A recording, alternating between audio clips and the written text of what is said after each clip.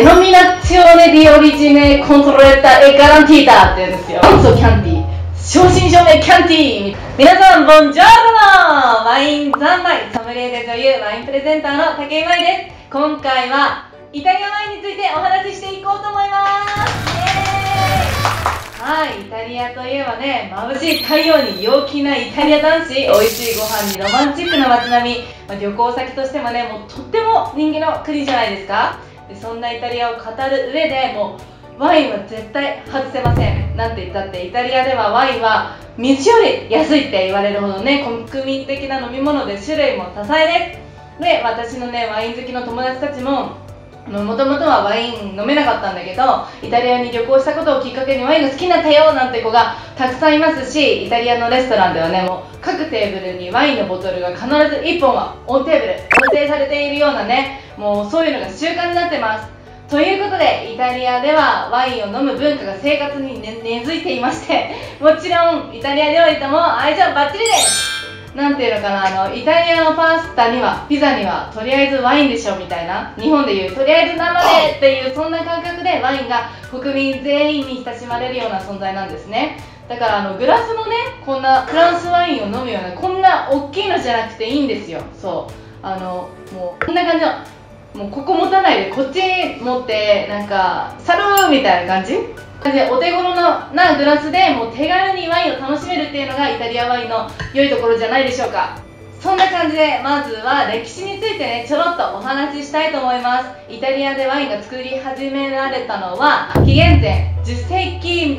頃と言われています。ちなみにその頃の日本はというと旧石器時代でもう石をねこう持っておりゃーってこう動物を狩りしてた時代ですよ。で獲物を求めてもうキャンプのようにあの居住地を移動しながら住むみたいなそんな時代にもうイタリアではワイン作りが始まっておりました。すごい昔からねワインは作られてるんですね。そしてイタリアは実はあのワインの生産量はフランススペインを抜いて1位で世界1位です。はいその魅力は何といっても多様性じゃないでしょうか。というのもねイタリアでは全20州でもうつまり日本でいう全47都道府県でワインが作られてるって感じです。もともとそれぞれの州がこう独立した国でした。だからブドウの品種も作り方も多種多様なんですよ。もうそれぞれのやり方をしてあのもう歴史が進んでたわけなんです。でブドウの種類もまあ、土着品種っていうイタリアで作られたブドウ品種がもう数千以上あります、まあ、私は3000以上とかって聞いたかな。そして政府が公認しているものだけでも400以上と言われています。イタリアワインはもう本当にたくさん種類があってもうこれをね一つずつ説明したら1週間くらいかかってしまいますし何よりも皆さん見てらんないと思います。はいバラエティ豊かなワインな産地なんですね。でそんなイタリアワインは、えー、格付け制度があります。フランスにもありますけれどもあのワインのボトルのこう上の方にシールが貼ってあることがあるんで見たことある人もいるかもしれない。はいこれはフランチャコルタなんですけど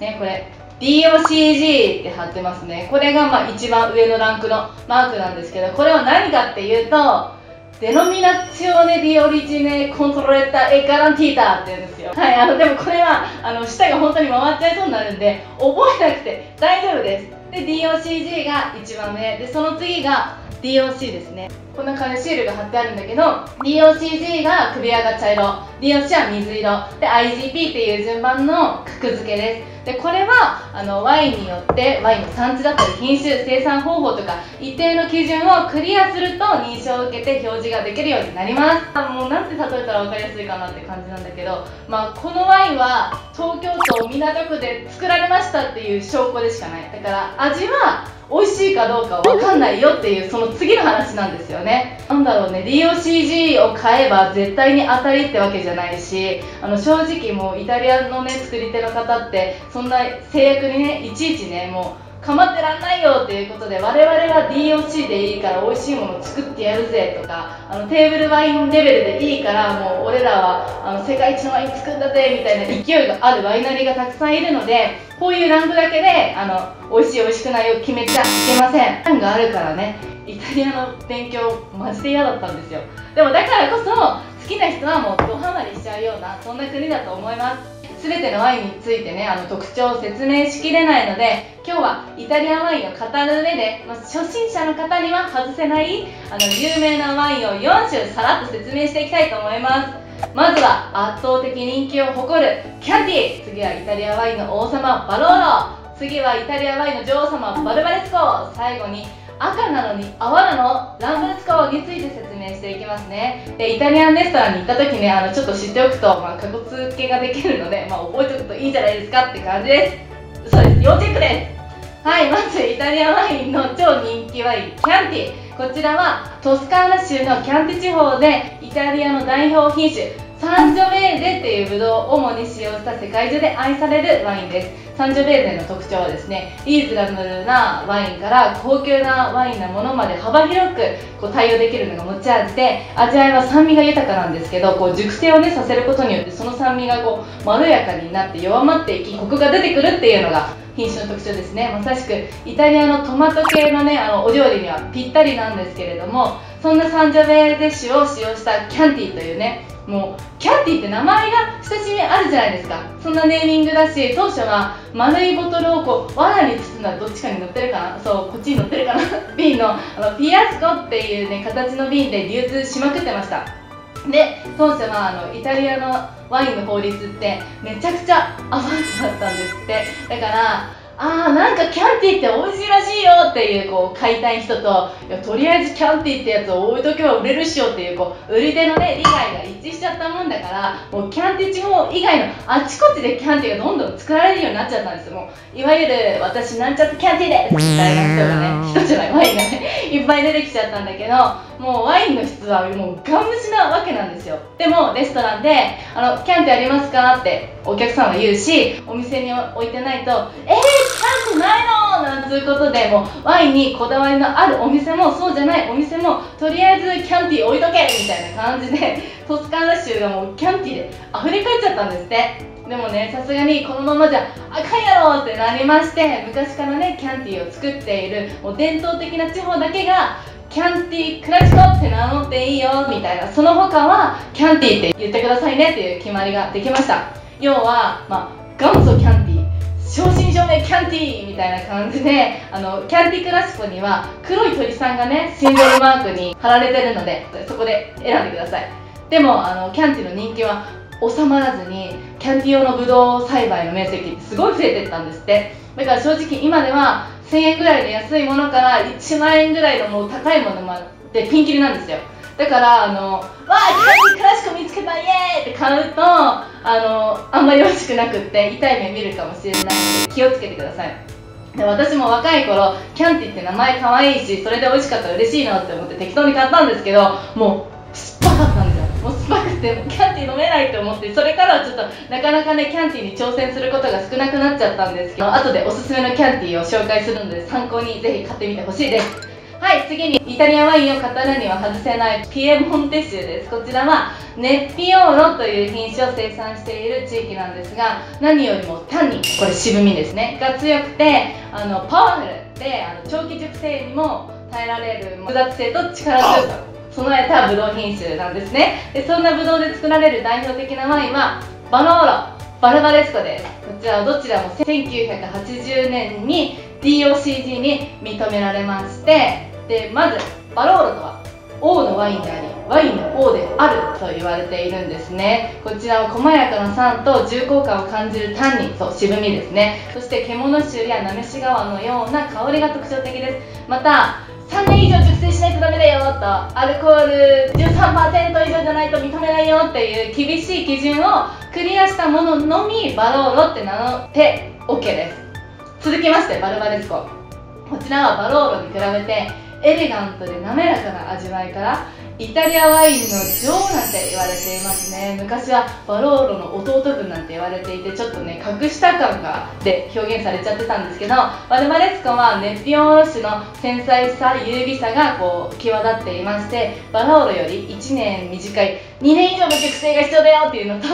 12.5%以上じゃないとあかんよっていう決まりがあります。まとめるとバローラは力強さバルバレスカはこうエビマッサが特徴と覚えちゃいましょう。最後に赤なのに泡なのっていうのがランブルスコですね。こちらはエミリア・ロマーニャ州の土着品種ランブルスコ種こうランブルスコっていうブドウを使ったスパークリングワインなんだけど、えー、こちらの特徴は微発泡でほとんどがすっげえ甘口タイプ。そうよくねあのネットで調べるとお寿司にも合うなんて書いてありますが私はねそうは思いません。ぜひあのミートソースパスタとかの酸味のある食事とか胡椒の効いたお肉とかと合わせてほしいかな。で私は正直あのランブルスコはあまり好んで飲まないんですけど、まあ、こちらはアルコール度数も低いのでワインがあまり飲めない女子とかにはうってつけです。まあ美味しいってなりますね。あと赤で泡っておしゃれじゃないですか。だからデートでね酔わせたい時とかはあの男性陣使っちゃってください。逆に女性陣はランブルスコが出てきたらおおやべえこいつ酔わせようとしてるみたいなあの気をつけてくださいね。はい他にもねスーパータスカンとかあとは今日はね赤ワインばっか話してた白ワインでもソアベとかいろいろあるんですけどもっと語りたいことはたくさんあります。でもそれは時間の都合上今回はカットいたしました。それは今度話するかな？ということでイタリアワインは本当に様々なのでも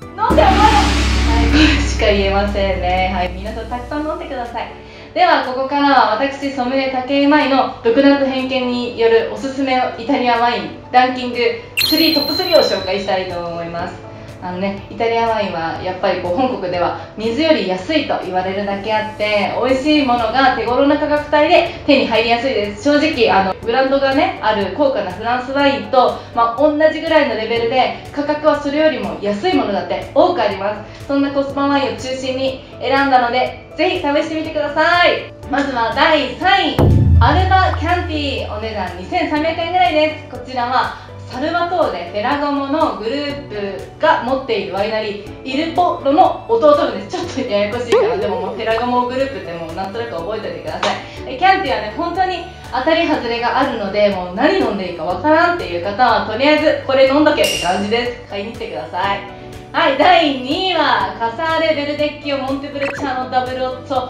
DOC お値段1900円ぐらいですね。こちらはモンテプルチアーノっていうブドウ品種を使っています。あの品種特徴はエルローよりもチャーミングでタンニンが少ない感じ。何よりも推したいのはその味わいの親しみやすさかなと私は思いますね。神の雫にも掲載されました。そして気になる第1位はビラプッチーリピノネロはいお値段1100円ぐらいもうめっちゃ安なんですけどこちらはですねピノネロって言って、まあ、要はピノノワールのシノニムということでイタリアではピノノワールのことをピノネロって言いますそのワインです。これはね本当にコスパがいいんですよ。私も自分のワインイベントであの使用したことがあります。でビラプッチーリピノネロとかはあの実はねとあるイタリアンレストランさんのグラスワインで飲んだことをきっかけにあの掘り出したワインでもあります。正直イタリアンワインってね当たり外れがめっちゃ多いからだから高いからって美味しいっていうのが絶対保証されてるわけではないんですね。だからそんな時にぜひトライしてほしいのがお店で積極的にイタリアワインのグラスを飲むことですね。そうついついね食事の場だとこう会話に夢中になっちゃうかもしれないんですけどそんな中でこう飲んでてあこのイタリアワインうめえってなったらうんそうだよねとか言いながらこうパシャってこうね ワインのボトル取ったりとかああとなかったら持ってきてくれます。頼んじゃってください。あとはそれもそう会話をね途切っちゃうからパシャってこっそり取って調べちゃいましょう。そしたら意外とねコスパワインを効率よく見つけられるのでこれは本当におすすめです。皆さん積極的に飲んでください。飲んで忘れちゃうのはもったいないです。はいということでいかがでしたでしょうか。イタリアワインはねもう本当にいろんな種類があるので飲み比べると面白いです。イタリアワインの魅力がね分かったよって言った方はぜひいいねとイタリアワイン飲みたいってコメントをお願いします。コメント私全部チェックしてますのでね。はい。恥ずかしがらずにあのまいちゃん可愛いとかでもいいですよ。何でもいいです。で勉強になったと思った方私をもっとたくさん見たいと思った方はチャンネル登録と LINE 登録もお願いします。では最後に皆さんで DOCG をあの呼んでさよならしたいと思います。いくよ。せーの。デノミナチョーネ・ディ・オリジネ・コントロレッタ・エ・ガランティータ。チャオ